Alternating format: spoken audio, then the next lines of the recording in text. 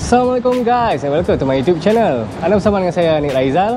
Thank you kepada semua yang dah subscribe dan thank you juga kepada semua yang dah support YouTube channel saya selama ni.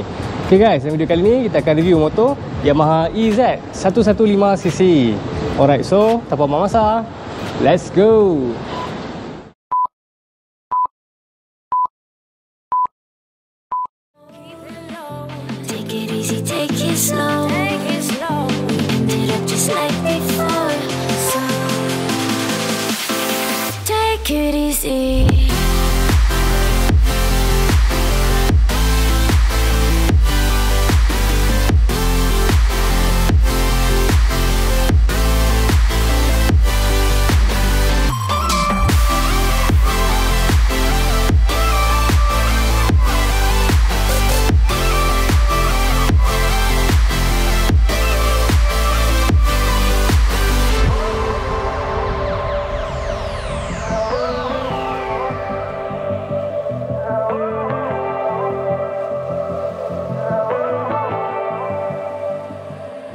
Okay guys, jadi di hadapan anda sekarang ni adalah sebuah motor Kapcai 115cc keluaran daripada Yamaha iaitu Yamaha EZ 115cc.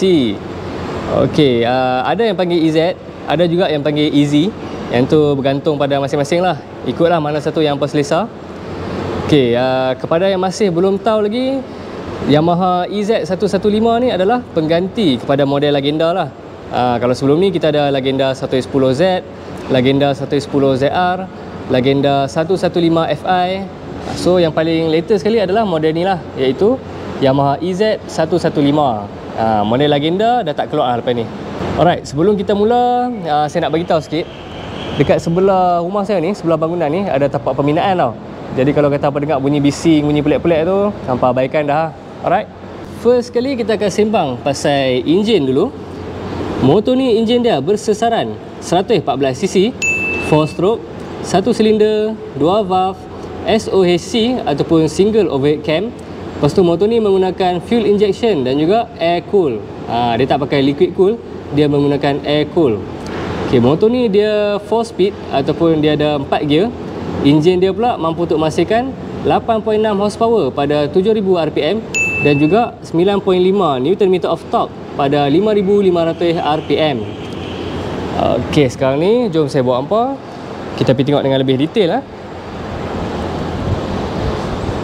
Ah, jadi macam ni lah uh, rupa di bahagian handlebar dia. Okey, ha, handlebar, panel meter apa semua. Okey, so ni kunci dia lah. Dia masih menggunakan kunci. Kunci dia macam LC ya. Ah, jenis kunci panjang macam ni. So cara nak start dia macam biasalah, pusing je ke kanan. Ah, panel meter pun dah menyala.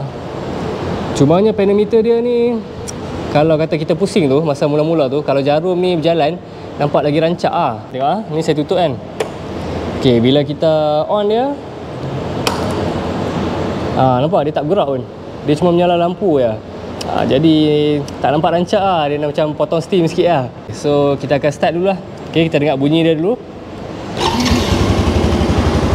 Okey, enjin pun dah hidup. Ah, macam ni lah bunyi dia dalam keadaan idle. Okey, bunyi agak senyap tak? Agak senyap, agak smooth ah. Okey, ha ni bahagian exhaust.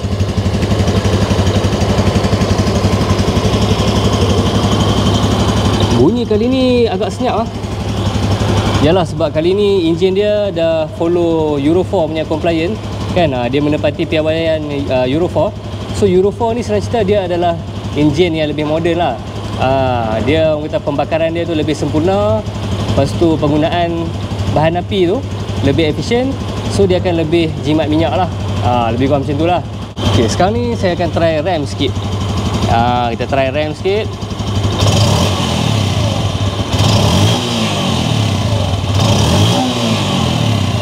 Okey, tarik sikit. Uh, rancak. Memang bunyi legenda. Rindu pula lama tak dengar bunyi ni. So, uh, kita akan tengok dia punya switch dulu. Okey, ni button switch dia lah. Uh, macam biasa, memang simple, memang basic ya. Okey, ni low beam, yang ni high beam. Okey. Nampak? Low beam, high beam. Ah, dia tak ada passing light ah. Sekadar low beam, high beam. Okey, then uh, yang ni button ni lah signal. Okey, signal kiri. Ah, nampak? Okey, signal kanan. Okey. Lepas tu yang ni button horn. Ah, horn dia pun bunyi kuat. Then dekat sini dia plain je, dia kosong, nampak? Dia tak ada apa pun. Dia cuma ada uh, ignition switch ataupun starter. So kalau saya saya akan beli yang additional punya switch aftermarket tu hazard light switch lah. Saya akan tebuk saya akan pasang kat sini lah. Seterusnya kita pergi tengok bahagian depan. Ah, jadi macam ni lah rupa dia di bahagian depan. Ok kita tengok dia punya headlamp dulu. Ah. ok lampu dia dia tak pakai LED dia pakai bulb lah. Ok bulb ataupun mentol semua lah okay? lampu depan lah lampu ni tepi ni pun sama. Ha, then dia punya signal dekat bawah. Try buka signal tengok. Nampak? Ha, signal dia pun masih menggunakan bulb ataupun mentol lagi. Ha, nampak? Okay. Kalau kita tutup enjin Okay, kita tutup enjin Lepas tu kita on dia punya Switch sahaja, kunci dia. Ah, Dia akan jadi macam ni. Nampak? Lampu tepi ni okay, Kiri dan kanan ni ah, dia Lampu dua ni je akan menyala. Ah, Jadi kalau kata apa nak bagi nampak lagi cantik, lagi rancak kan Apa boleh tukar ah, jenis LED ni kan lampu LED T10 yang kecil tu kan yang ada warna biru merah kala-kala tu Ha, kalau saya, saya akan tukar ah kiri dan kanan ni. Ha, at least nampak lah stylo sikit kan. Okay, so ni bahagian dada dia. Okay, ha, bahagian dada dia nampak nice juga. Nampak lah kan aerodynamic tu. Lepas tu ni dia punya mudguard. Okay, mudguard dia pun simple je. Ha, tapi saya nak puji dia punya colour lah. Colour kain ni cantik. Ha, memang cantik dia nampak agak premium lah nampak mahal. Dan kita tengok dia punya suspension depan. Untuk suspension depan dia pakai telescopic fork okay, lepas tu brake caliper dia pakai satu piston. Dan uh, dia pakai uh, single disc brake lah. Rim depan. Rim depan dia saiz 17 inci. Tayar dia pula dia pakai saiz 70 90 Okay, kita tengok bahagian belakang pula Okey, untuk bahagian belakang pun sama. Rim dia saiz 17 inci. Ha, tapi tayar dia saiz 80-90. Jadi tayar belakang dia ni lebih lebar lah berbanding dengan tayar depan. Okey, then kita tengok dia punya brake belakang. Okey, ni brake belakang dia. Dia masih menggunakan brake drum lagi.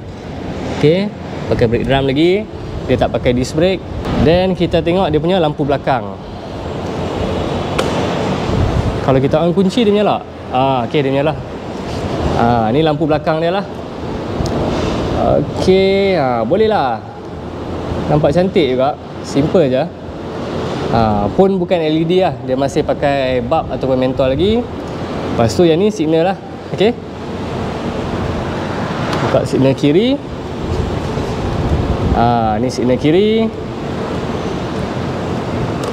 Yang ni pula signal kanan.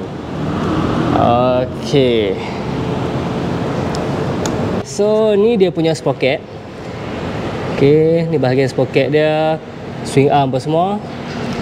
Uh, sprocket dia size Sekejap kita tengok size berapa Sprocket dia Size 40 uh, Sprocket belakang dia size 40 Dan dia punya suspension belakang Dia menggunakan jenis Dual shock absorber Okay, lepas tu kat sini tak ada apa sekarang ni kita akan tengok dia punya seat. Macam ni lah rupa seat dia. Okay. Ha, seat dia selesa. Ha, yang tu saya puji lah. Okay, span dia pun agak lembut. Dan luas lah. Ha, dia flat lah. Dia tak sporty lah. Tapi memang comfort. Memang selesa. Okay, cara nak buka seat dia kat sini lah. Okay. Bila kunci kat tengah macam ni kan, hampa pusing belah kiri. Ah. Seat pun dah boleh buka. Okey. Jadi macam inilah rupa di bawah seat dia. Ah, okey. Alright. Okey, fuel tank dia ni berkapasiti 3.9 liter. Ha, kurang sikit lah kalau nak compare dengan yang legenda sebelum ni kan. Sebelum ni kau tak silap saya 4 liter. Ha, tapi sekarang ni dia dah kurangkan sikit menjadi 3.9 liter. Tetapi dia punya space compartment ni uh, kata apa lagi luas lah kan kalau nak compare dengan sebelum ni punya kan. Yang ni punya lagi luas tapi tak besar mana lah. tak besar mana. Hampa beli bawa barang sikit-sikit, raincoat ke apa ke, tools, makanan apa sikit. Helmet macam tak muat. Ha, tak apa. Set kita test tengok. Okey, dekat saya sekarang ni ada helmet ARC Reeds eh. Okey, kita try tengok letak. Muat ke tak muat? Oh, tak muat nampaknya. Okey. Nampak? Tak muat. Memang tak muat. Ha, tak boleh masuk. Okey, dia punya ni tak cukup lebar dan tak cukup dalam lah. Ha, try pilah kot mana pun kan. Ha, memang tak muat lah nampak. Untuk sini ke. Ha, memang tak boleh masuk. Okey, ha, jadi helmet open face size macam ni memang tak muat. Takat he, apa helmet steng kan, MHR steng ke apa tu mungkin boleh lah. Ha, tapi kalau majority helmet open face yang kita duk pakai ni memang tak muat lah nak masuk dalam ni ok kita tutup balik dia punya seat ok lepas tu ah, yang ni kickstarter. Jadi in case kalau bateri kong ke apa ke hampa masih boleh start engine secara manual lah.